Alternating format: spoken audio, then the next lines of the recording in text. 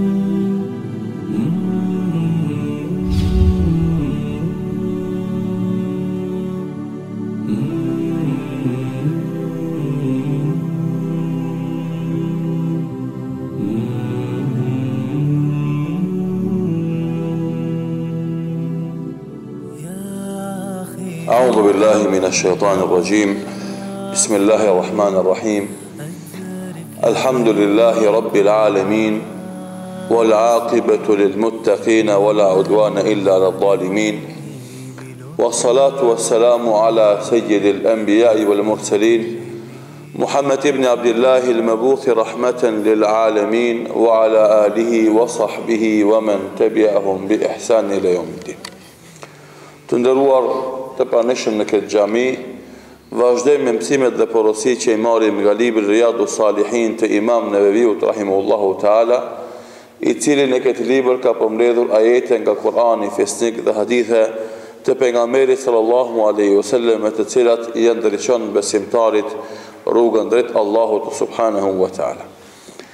Ne jemi në kapitullin që flet për kujdesin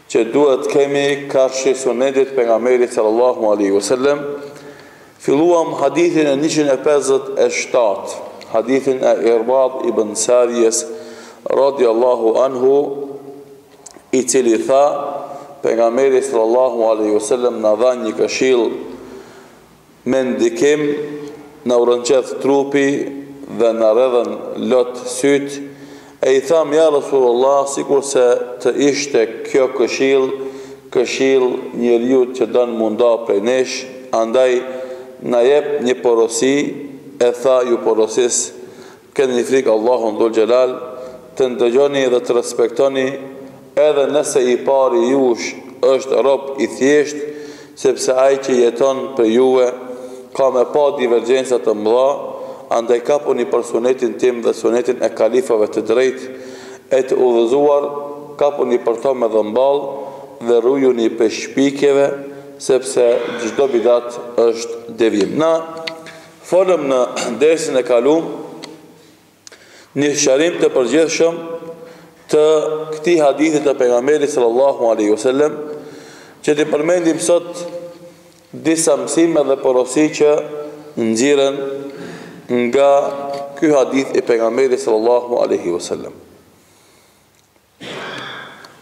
Nga ky hadith nxjerrim mënyrën e komunikimit me njerëz. Dhe sikurse e keni vërejt, zakonisht prej haditheve të pejgamberit sallallahu alaihi wasallam ulemat kur i komentojnë e nxjerrin këtë çështje. Pse? Se një prej problemeve ma të mëdha që i kemi në zhvillimin e davetit është mënyra e komunikimit. Si na flasim me tjerët? Çfarë gjuhe përdorim kur komunikojmë me tjerët? Cili është niveli i kulturës kur na komunikojmë me tjerët?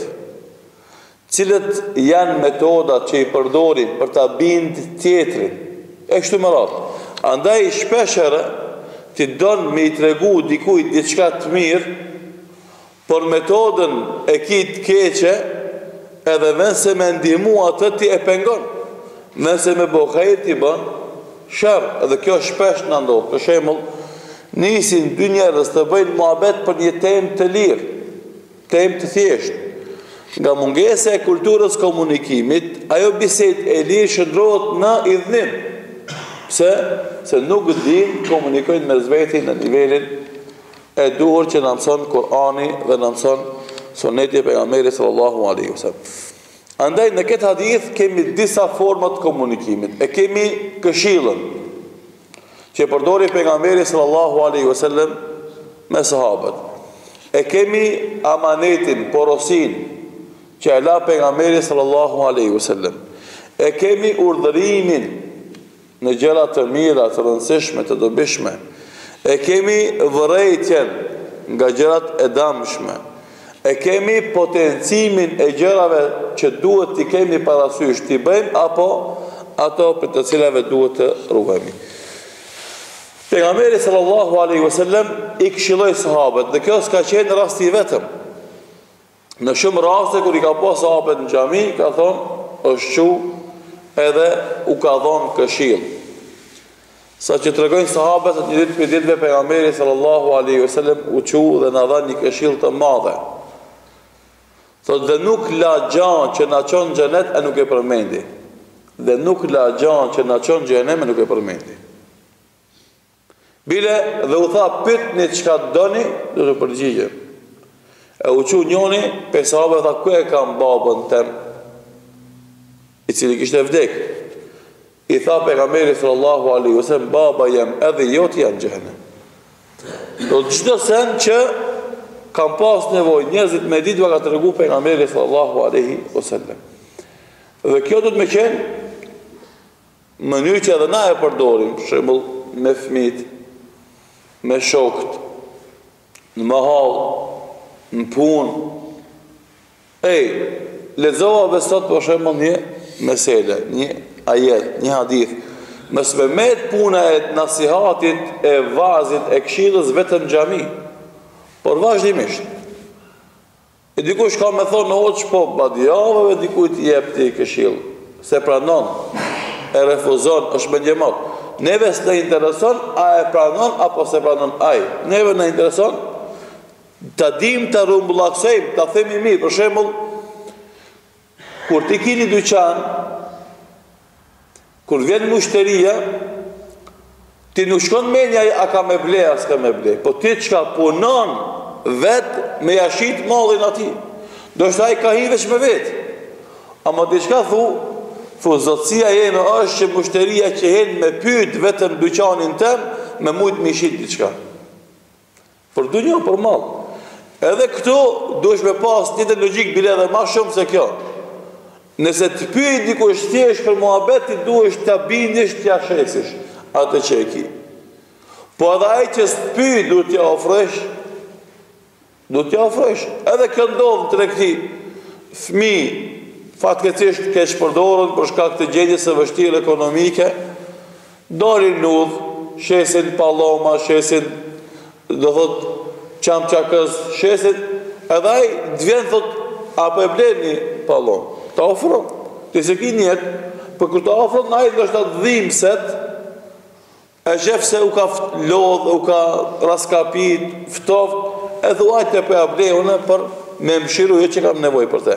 Po nëse mallin e dynjas na ia imponojmë dikujt me shit atëherë fenë e Allahut të xhelal edhe më shumë duhet me ia ofru të tjerëve me fjalë të mira, me fjalë të zgjedhura, me komunikim të shëndosh që të përhapet e mira. Andaj Allahu subhanahu wa taala e përdor e përmend edhe në Kur'an vazin këshillën si një metodë të komunikimit të shëndosh dhe thotë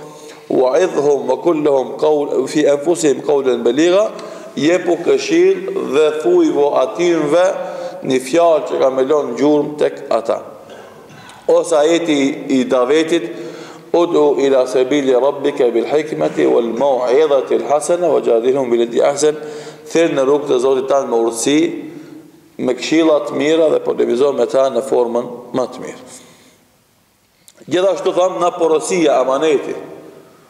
Edhe këtë e përmend Allahu në Kur'an shumë raste, për shembull rastin e Ibrahimit a.s. I cili në shtratin e vdekjes i mledh evlatët e vet, fmijt e vet, thotë, ka keni me bo ibadet mas meja. Nabudu ilahake ua ilaha abaike, do të bëjmë ibadet zotin tand dhe zotin e baballarëve, e pejgamberëve para teje.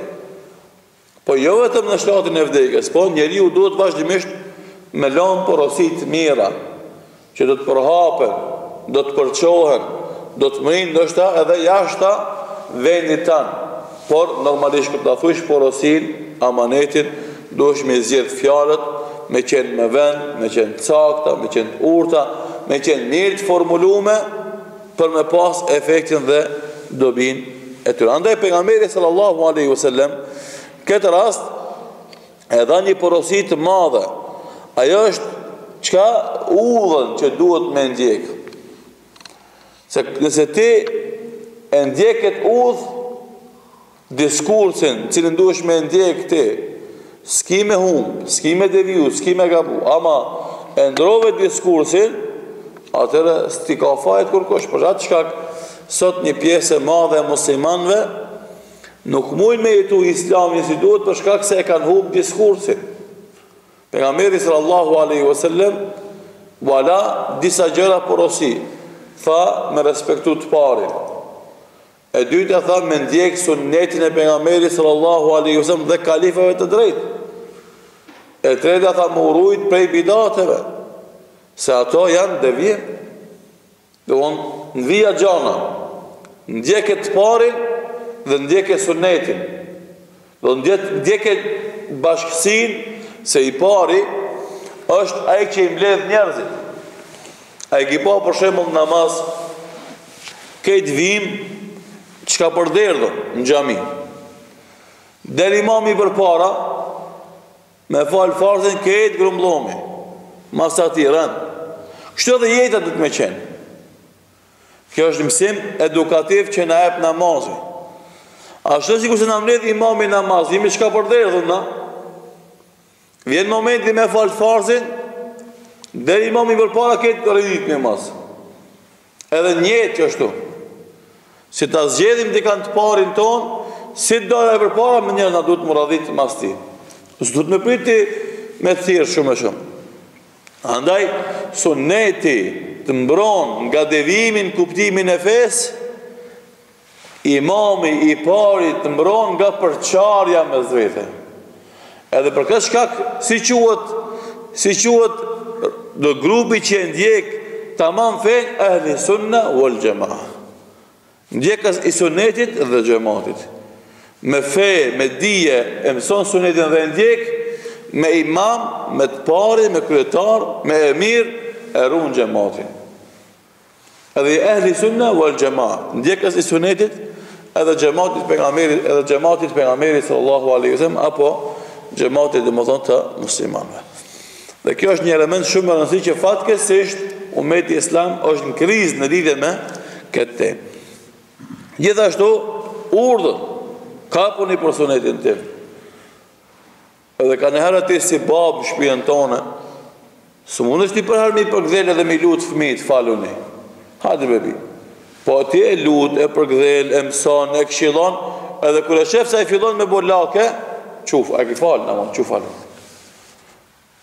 Do thotë sikurse n'shkollë.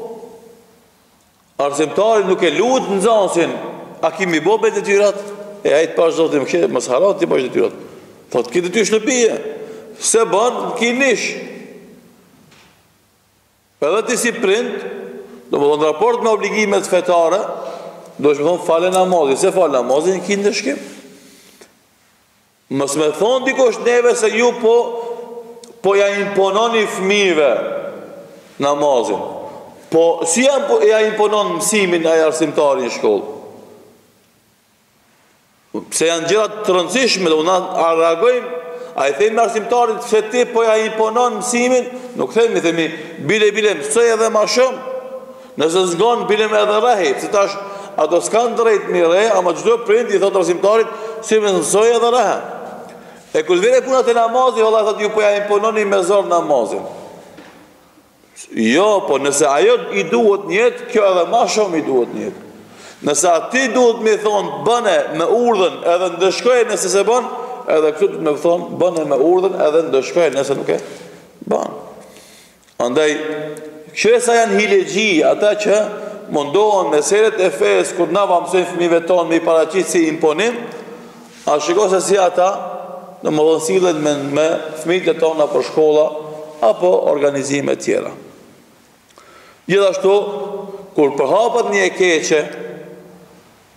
E bohet dukuri ti si njeri i mençun, i ditun, fetar, e ki për detyrë dhe obligim me ja tërhek vërejtjen mahallës, ej, kujdes! Për shembull, ndodh që në mahallë paraqitet një hajn, një vjedhës, e gjithë mahalla duhet me u mobilizu, me nal, Mos me thonë vallahi filani vjedhi te kojshia, te unë s'ka hi. Edhe ti dash mos me pas gale. Se nëse ti nuk reagon kur hin ai te kojshia, nesër ka me hi edhe te ti. Atëherë ki me çu zonin, po ka m'u bo vonë. Andaj të gjithë na, në lagjet tona, në mahallet tona, në xhamiat tona, aty ku kena mundësi, duhet me intervenu kur paraqitet një e keqe. Pse?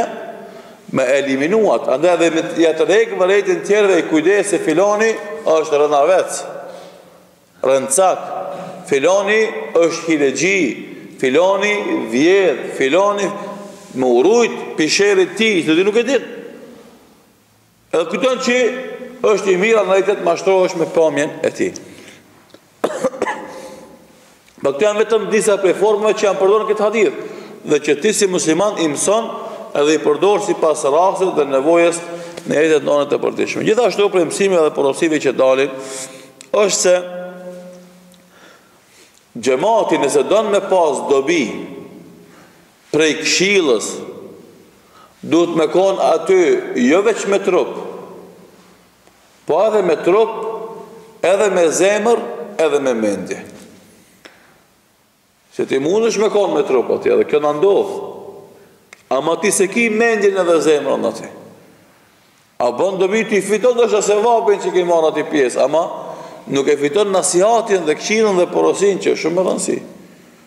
Andaj Allahu xhele në Kur'an, kur fol për përfitimin nga Kur'ani, çka thotë, Thotë në këtë Kur'an keni porosi dhe mësim. Për kë? Li men kane lehu kalbun, eu elkas-sem'a ve huve shehid. Ai që ka zemër domethonë, i kupton gjonat. Elkas-sem'a edhe i ndëgjon me vëmendje. Ve huve shehid edhe është i pranishëm me mendjen e tij. Tre komponente i përmend. Domethonë, Me qenë truni jot me punu, ose zemra jote me punu, me ndëgju atë që thotë, edhe me qenë i pranishëm. Pse? Se ti mundesh me konë në një mexhlis, me trup edhe mendja jote punon mirë, ama nuk je tu e ndëgju atë që po fol.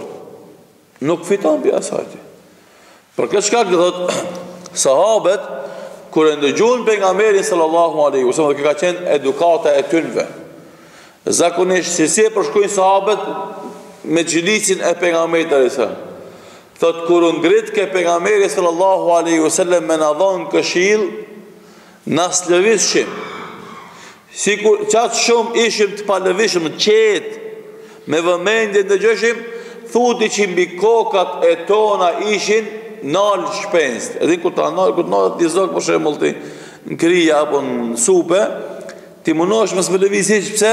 Se e din se pak me lëviz ai fluturon. Andaj hiç s'lëviz. Thotë, kur majke ders pejgamberi sallallahu alaihi wasallam, rrishim qetë pa lëvizshim thu ti që në kokat tona kemi shpezë të ndaluna. Me vëmendje të madhe, heshtje, qetësi e madhe. Ama jo vetëm qetësi edhe mos me kanë me mend aty, jo po duke e ndëgju me vëmendje.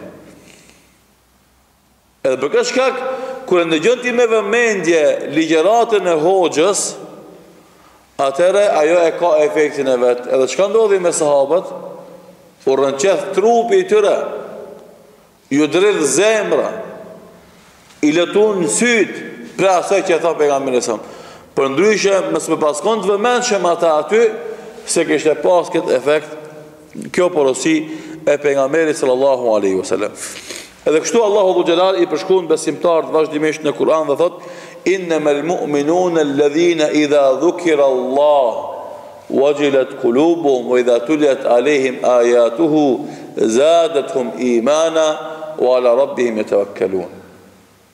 Besimtarët e vërtetë janë ata që kur përmendet Allahu Dhul Xhelal u rënqethet trupi. U rënqethet trupi. Edhe kur lexohen ajetet e Kuranit, u shtohet imani. Edhe Allahut ata i mbështeten. Dhe kjo është reagimi që vjen si rezultat i dëgjimit me vëmendje të porosive të Allahut subhanahu wa taala apo porosive të pejgamberit sallallahu alaihi wasallam. Andaj sahabët kur e ndëgjun me vëmendje atë që e tha, tha ja kjo qenka porosi lamtumirëse, kanka këshillë lamtumirëse, andaj na jep porosin dhe amanetin e fundit Edhe shikoni çfarë amaneti u dha pejgamberi sallallahu alaihi wasallam. Gjithashtu prej porosive dhe mësimeve që nxjerrin nga ky hadith është vlera e takvallëkut e devotshmërisë. Andaj usikum bi sem'i ve ta, usikum që t'jeni të devotshëm. Devotshmëria është Nozulli, Zahireja ma e mirë, ma e madhe, ma e dobishme që mund ta ketë njeriu me veti. Kur nisesh n'udhë, çka është ma me rëndësi për udhëtarin? E shumë sene ka me rëndësi, ama kejt m'i harru. Dy sene janë kryesore. Sot, n'jetë bashkëkohore, t'kalumen ka, ka qenë një. Se t'kalumen kur s'ka pas kufina, s'ka pas nevojë për pasaporta. Kur i kan vnu kufinat, ka nevojë për pasaport për qarkullim. Përveç kësaj, kur t'nisesh ti normal ki valixhen, teshat, ki ushqimin, edhe i ki çka, paret, ma e rëndsishme prej ktyne është parja. Pse, ti nëse ki pare edhe s'ki tesha, s'ka problem. I blen. S'ki ushqim me veti, ki pare s'ka problem, se e blen. Ama tesha ki, ushqim s'ki, s'ki pare, jet n'udhë. Andaj, n'udhtim, gjaja ma me rëndësi është ta kesh kuletën me veti. Tash, a ki pare, a ki karta, kryesore ta kesh kuletën me veti.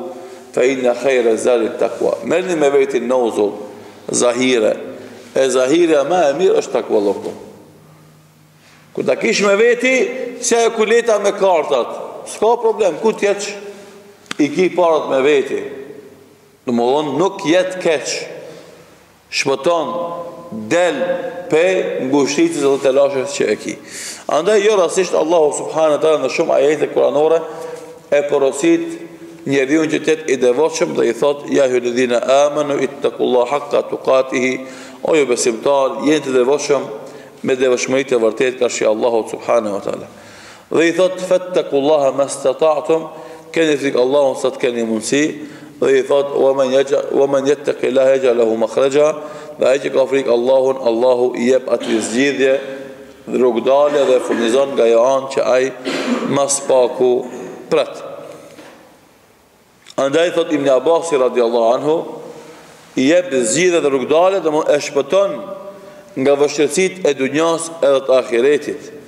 Dhe kjo është ajo që njeriu duhet me pas si zahire me veti, porosi e vazhdueshme e pejgamberit sallallahu alaihi wasallam